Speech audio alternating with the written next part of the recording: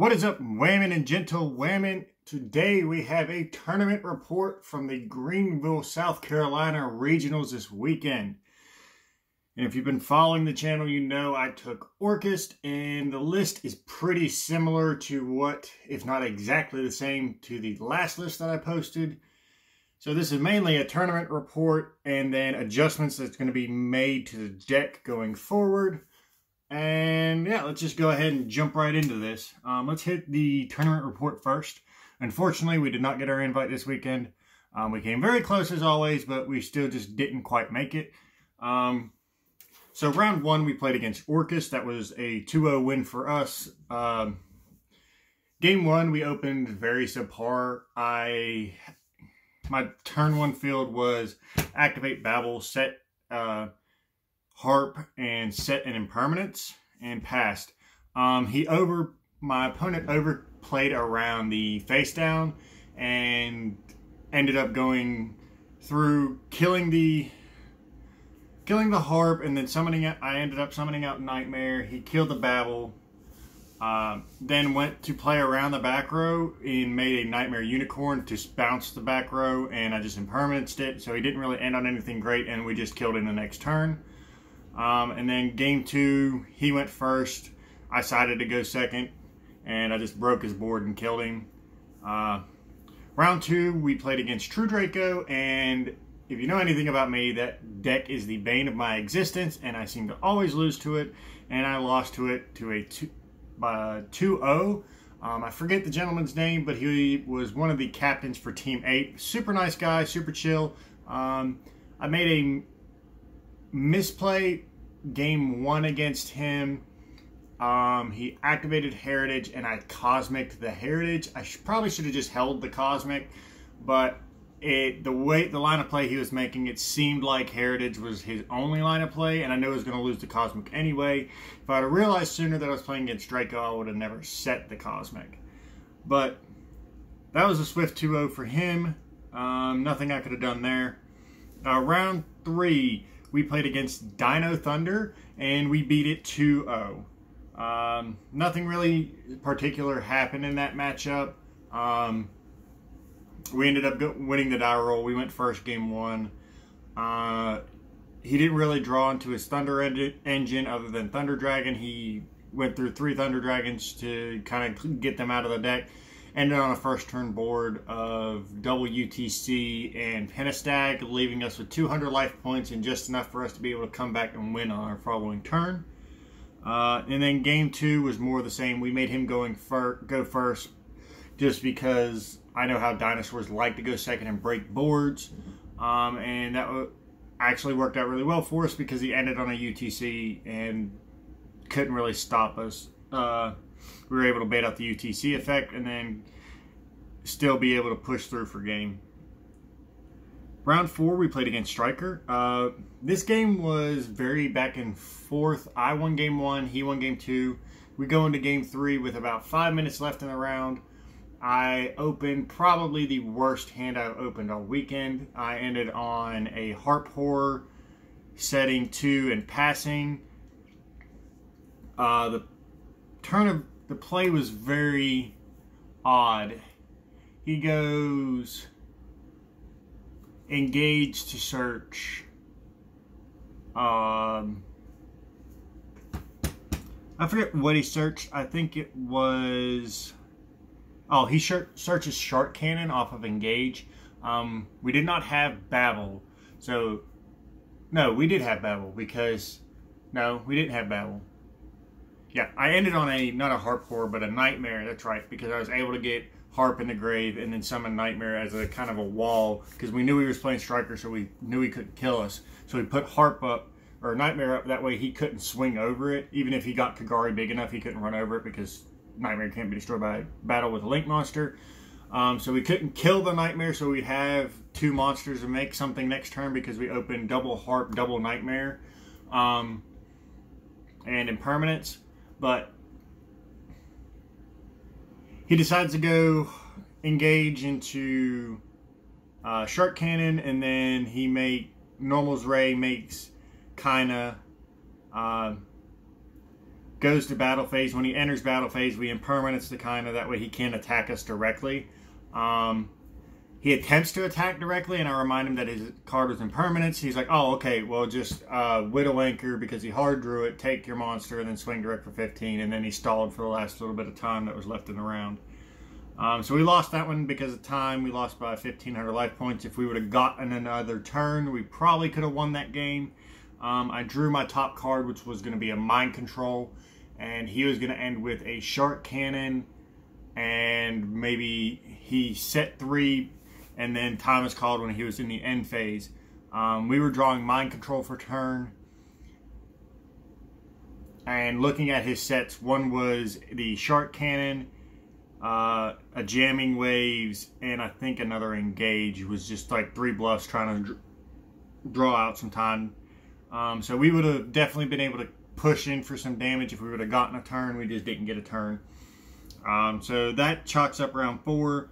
Round five, we played another Orcust mirror. We won that mirror 2-0. Um, I felt very confident in this event, going into this event playing against the mirror match. Um, and I won another one 2-0. No problem with that one. Uh, round six, we played another Sky Striker, and kind of the same situation, but we were able to come out on top this time. Uh, we won that one 2-1. Uh, we won game one pretty handily. He won game two. Um, I kind of scooped a little early because I noticed the time was getting low. We were about 15 minutes, and I didn't want another situation that happened in round four where I should have probably scooped game two a little bit faster and maybe not put myself in this situation.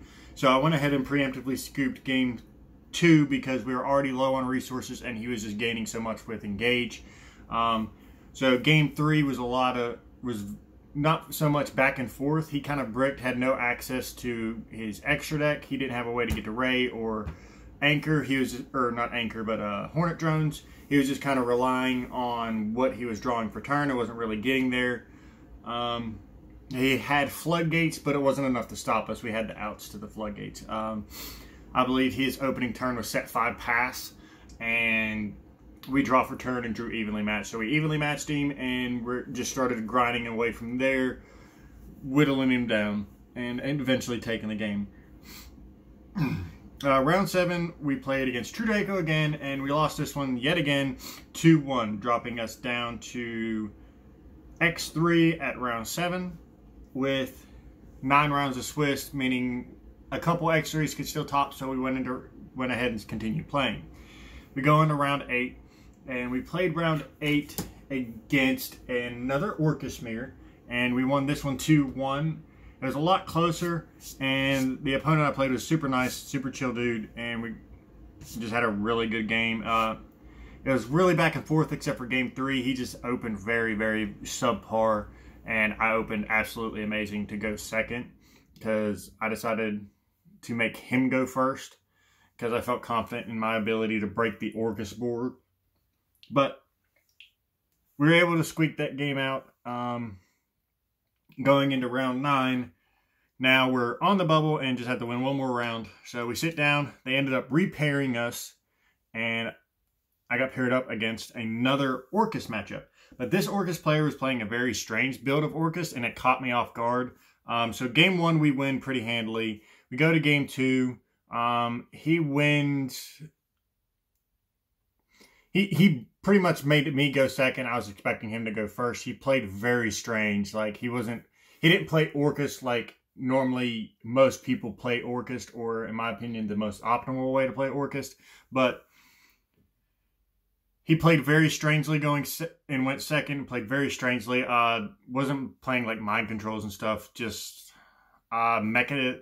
Uh, what's that card? Machina Fortress and a couple other cards like that. And he played very strange to me and it just caught me off guard. And then we go into game three and I make him go first because I thought, okay, well, he made me go first, so maybe he wants to go second and break my board. So I make him go first. Um, he complains about his hand and sets three and just passes. Um, so we go into our turn, or no, he sets two and passes. So we go into our turn not fearing anything, and that's probably my own demise. I didn't fear his back row at all. It was just two sets.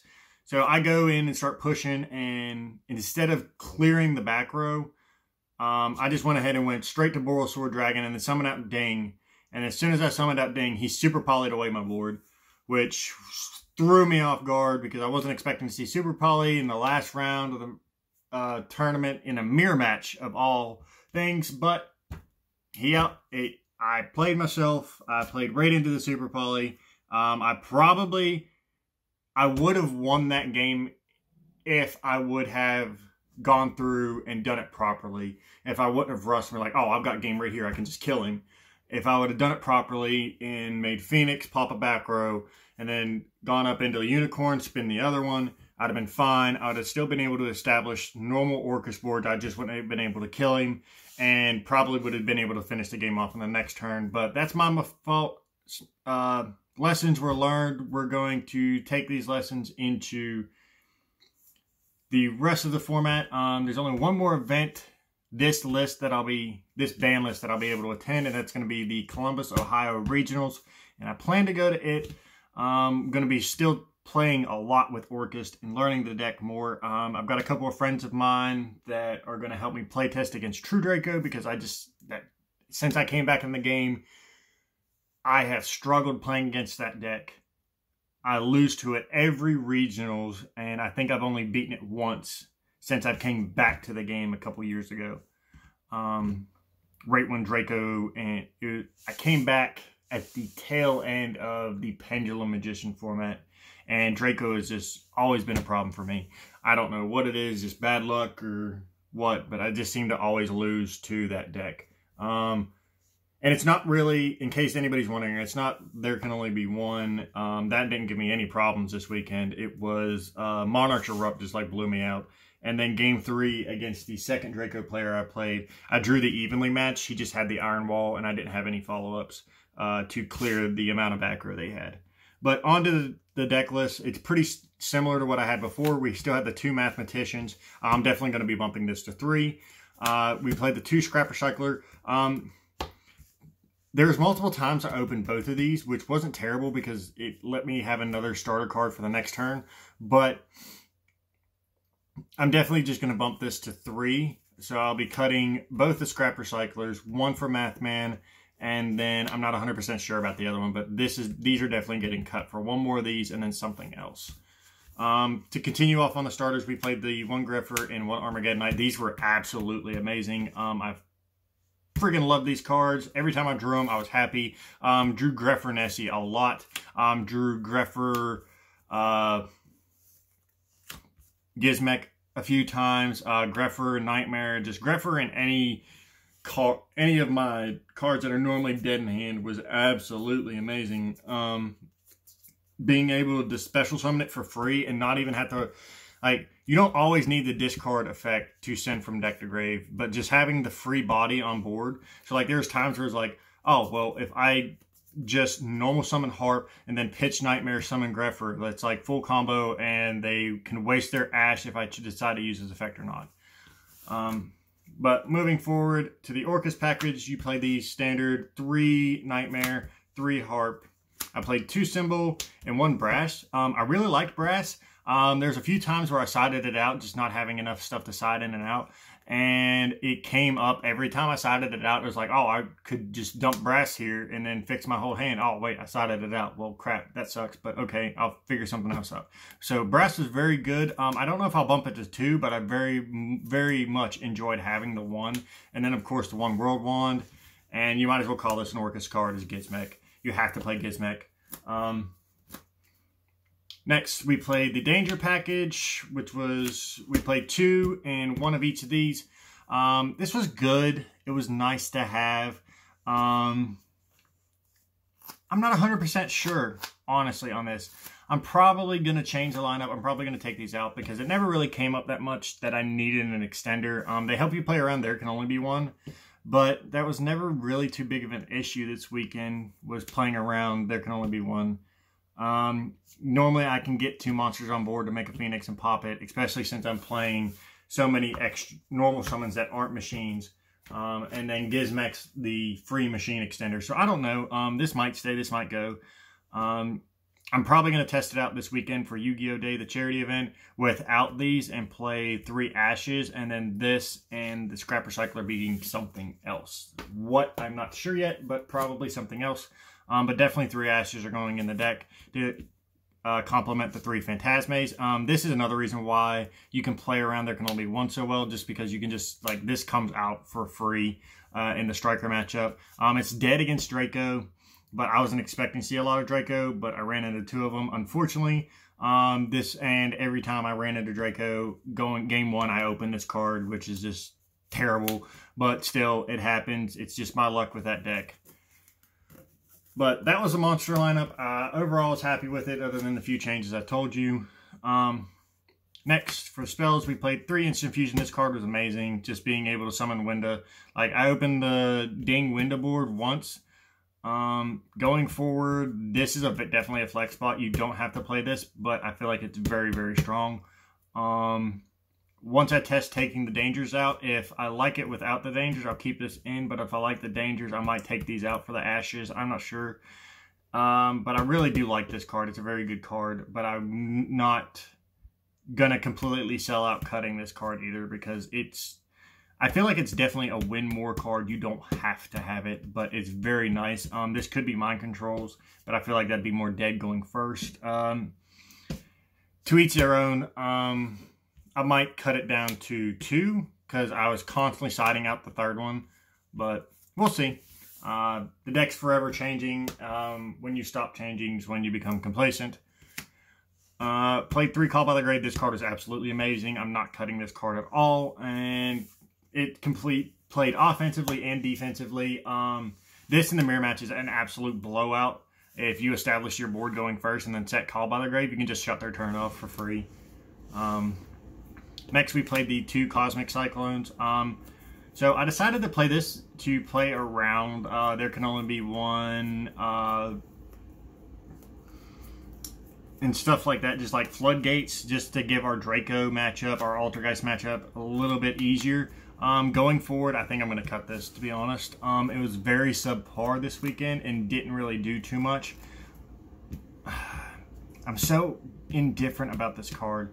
Like, every time I saw this card this weekend, if it would have been Twin Twister, it would have been a lot, a lot, lot, lot better. Like, I actually drew this for turn against the Draco player in this game three of round seven when I played Draco.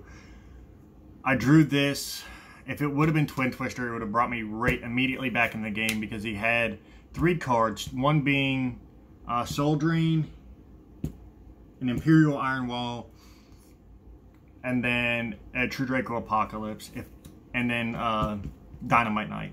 If I'd have drawn, if this would have been Twin Twister in that exact instance, I would have been able to blow away the two floodgates, and then and then establish a board. And I still had evenly matched in hand, so even if he did have something else to do, I'd still be able to like evenly match him if he was able to reestablish his board after I cleared away the uh, Imperial Iron Wall.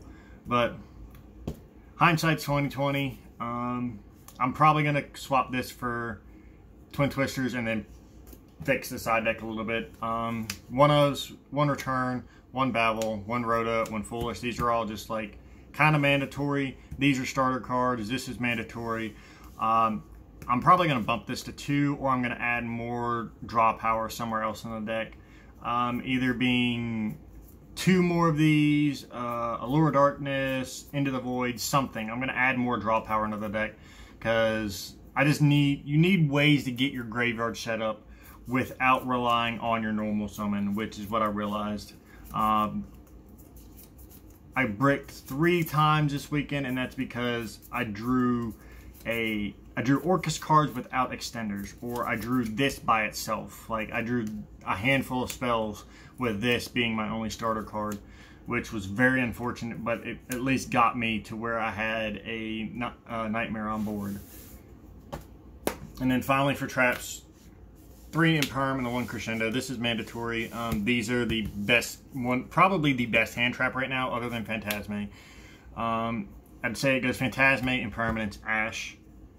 But this was just every time I saw this this weekend was freaking phenomenal. Um, I caught one person with setting it and then activating a card in that zone, or I was able to lock out or shut down a couple floodgates enough to where I could get Phoenix into popping it. Um, this just was phenomenal this weekend. I wouldn't change it at all. Uh, moving on to the extra deck, it's basically standard. We got our Dante Field Center. We got the one pretty Galatea and two regular ones. Uh, Phoenix came up all the time this weekend will not change it at all. Um, Barricadeborg Blocker came up more this weekend than it ever did in testing, and I'm so glad I didn't cut it because I was very, very much considering cutting it, and I'm glad I didn't. Um, one IP, this card is just amazing. There's no need to explain it. Uh, one Longirsu because this card just like amazing and you need it for like your turn one combos. One Trizbania. Uh, I prefer this over the Link 4 Topologic, the one with the four corners that banishes everything. Um, it came up in the Orcust mirror match. I was he summoned he ended on that link four. So I went in order to play around it, he ended on link four and Babel, so he'd be able to like nuke the board at one time. Um, what I ended up doing was go reveal Nessie. He pitched a card. I summoned Nessie into a zone it pointed to. So I summoned it here. And he went ahead and banish the board, which is what I wanted him to do. I was baiting the banish, and my thought process was I'm willing to trade my extender for the turn to get rid of his Babel for the rest of the game. Um, so that's kind of why I don't like that card, just because you banishes your Babel, and I feel like Babel is kind of your win condition right now. You don't want it to get banished. Um, we got the one unicorn. This card came up so much this weekend, and I absolutely loved it. Uh, the BLS link was phenomenal this weekend. Um, it'll be less consistent to make once you once I cut the dangers, but you still have Phantasme and Gizmek. I made this more with Phantasme than I did uh, Nessie, so I don't feel like you need the dangers to be able to still play this card. Um, one one game Sword Dragon, uh, two Ding, one Winda, and one Thousand Eyes. Um, I made Winda twice this weekend, and I made this twice, so like Instant Fusion doesn't really come up that much for me. Uh, I guess because I side Mind Control, and Mind Control is just a better version of Instant Fusion. Uh, you don't pay the thousand life points, and you don't have to waste a summon. But I guess like you get this for free, um, and this else uh, Sky Striker stuff. That's the only time I really used it was in the Striker matchup. On to side deck, we played a three Lancea, came up in the mirror match, was absolutely amazing. Uh, three Nibiru, I never sided this card in. Um, glad I had it. I'm very glad I had it, and I will not cut this card, but I never sided it in. Not once. Not once did I side this card in. Uh, that's nothing really else I gotta say about that. Uh, three mind control. This card came in every game and was phenomenal every time I saw it. It helped me out so much. This card should not be at three, but I'm super grateful it is, and I love this freaking card. Best card in the side deck. Um, then we had the three twin and three evenly matched for back row decks. Um, this came in against Striker and Draco. Um, I only saw it against Draco twice, um, and once it got uh, Ironwalled, I sided this in against Striker, never saw it. Um, I saw this a lot against Striker, which really, really helped. Um, there's a lot of games where I'd have six, eight back row removal cards in the main deck, and it still wasn't enough in my back row matchups. So I feel like that's where I need to focus my attention on going forward is I need to focus on how to deal with control decks because those were my losses except for the one wonky mirror match. So I need to figure out how to adjust my side deck for control right now. Um, going forward, side deck wise. I loved Evenly when I saw it. It was just seeing it. Um, so I'm thinking about manning decking the Twin Twisters. So that will open up two slots. I'm not sure what I'd put in those two slots, but probably something to deal with uh, a back row deck. I'm not 100% sure yet though. We'll, we've got plenty of time to decide and figure out what we're going to do before the next regionals. But for this weekend, I'm probably going to be main decking these. Um, but guys, that's it. That's our tournament report. That is how we did this weekend. We finished five and four, losing on the bubble per usual for me. This since I came back, um, I'm still struggling struggling to get over that hump and get my first invite since I've been back to the game. Um, I left the game on a high note going to Nats and barely missing out on day two. And come back and struggling a little bit, but we'll get there. It's still learning curve, still getting better every day. Um, I finally got my collection up to where I have all of the staple hand traps and stuff. Finally got my Phantasme, so now I can really focus on getting better as a player and not worry about not having the right cards to be able to play. Um, but that's all I have for you guys today, this video. Um, hopefully you enjoyed. Please drop a like if you did. If not, let me know what I can do to improve in the comment section below. Also, feel free to drop suggestions for the deck and some ideas for what I should put in for the one scrap recycler that I'm unsure of and the one danger that I'm unsure of what to swap out for. Um, we're definitely going to be putting in three Nessie, or not three Nessie, I wish. We're definitely going to be putting in three Ash Blossoms, and then that kind of leaves, we're putting in two Twin Twisters for the Cosmic Cyclones, and I'm not sure what we're going to do with the other two cards. It opens up two slots. We'll have three Mathmans then, and then we'll have two slots to kind of mess around with. I don't know if we want to put another hand trap or what we want to do with the extra slot. Um, probably start out with some draw power, but we'll see. We'll see what happens. But if you got, hope you guys enjoyed the video, and if you did, like, comment, and subscribe. And as always, I hope you guys have an awesome day. Peace.